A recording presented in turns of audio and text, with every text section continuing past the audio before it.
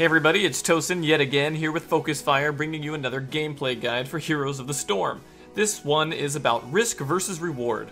And if the name of that topic is a little too vague, I'll further explain. In any match, you're going to be presented with lots of tempting opportunities, maybe to take a merc camp, or push a lane and take a fort, or maybe try to gank a player. But no matter how tempting, whatever it is you're going for, you gotta weigh the risk versus the reward. So if the risk is really high and the reward is not that high, that's usually a bad decision. So I'm going to show you a variety of clips with good and bad decision making when it comes to weighing the risk versus the reward. In this situation here, me and my team are pushing forward into the enemy's territory. That's pretty much always risky when the enemy team is up. All five enemies are alive, and we are completely aware of this, so this is a very greedy play, and this is a very high risk, so let's weigh the risk versus reward. The risk here is that we are in the enemy's territory on their side of the map, and we have no vision on any of them, and all five are alive. That's a high risk in itself. When five enemies are up and you don't see them, and you're in their territory, you should assume that they are coming for you at any moment. Now taking a look at the minimap, there are only two objectives that the enemy team could be going for, their bruiser camp or their siege camp. That's a 50-50 chance that they'll show up at this siege camp, possibly as a five-man squad, so that's a really high risk. And what is the reward if they get away with this? Well, we can get 4 coins and a siege camp. That's a pretty small reward for how high the risk is. So as you can expect, this is not going to work out. This is a bit of a greedy play, and it's okay. I mean, sometimes you take chances and they work out, sometimes they don't. But generally speaking, taking risks of this level for such small rewards is not a good idea. And in this scenario, it didn't work out for my team. Now here's a scenario with a much better risk versus reward decision. Here we are going to win a team fight and kill, I believe, three of the enemies. So the decision is actually going to be pretty easy. So we decide to take advantage of the situation and go for the boss camp.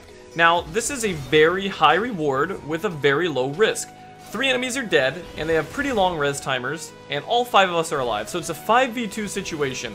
Now, the enemy team does have a Nova alive, so of course there is a small chance that one of us might get caught in a root or a smash by the boss and then blown up by the Nova. But even then, even if one of us gets randomly picked off like that, it's still 4v2, so the chances of them stopping us from taking this boss is unbelievably low. So this is exactly the type of low risk, high reward decision you want to be making on a regular basis.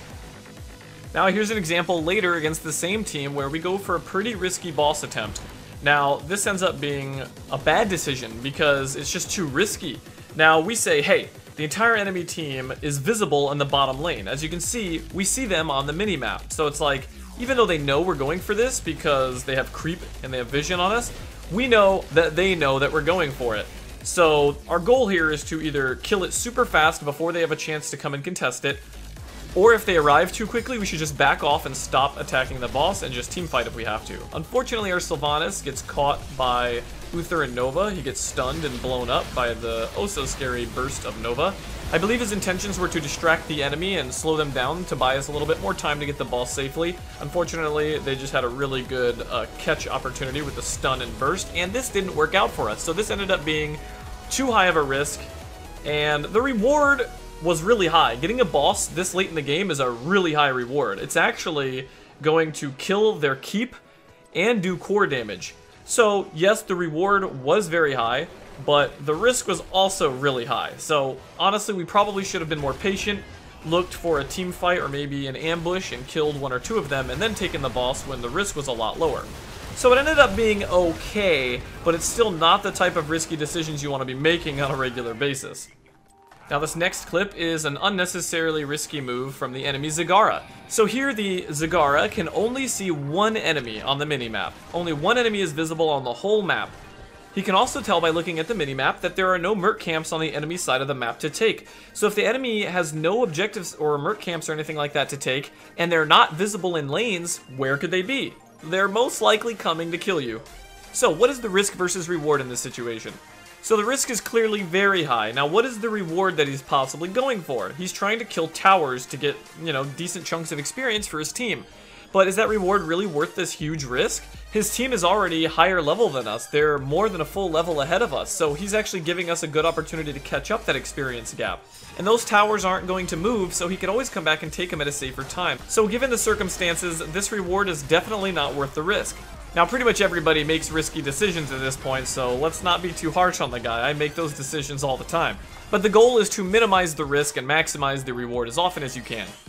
Now, here's a little bit of a strange situation.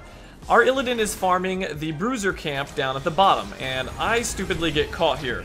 I was trying to poke around and scare the enemy off so my teammate could turn in coins, and I died, and then our Brightwing died. So our screw-up is now putting this poor Illidan at a very bad risk. He was going for a pretty good reward. Getting the Bruiser Camp and getting some coins is a pretty sweet reward, and the risk wasn't that high because we had pretty decent vision on the map, and he knew his teammates were up that could easily cause distractions while he solos this camp.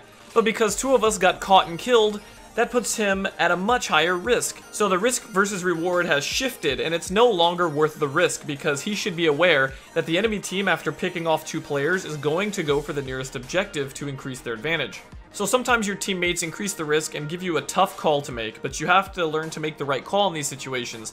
Illidan should have said, ah crap, they're probably coming here right now, and I have six coins I don't want to lose, so I should just give it up and peace out, because it's not worth risking dying and losing those six coins.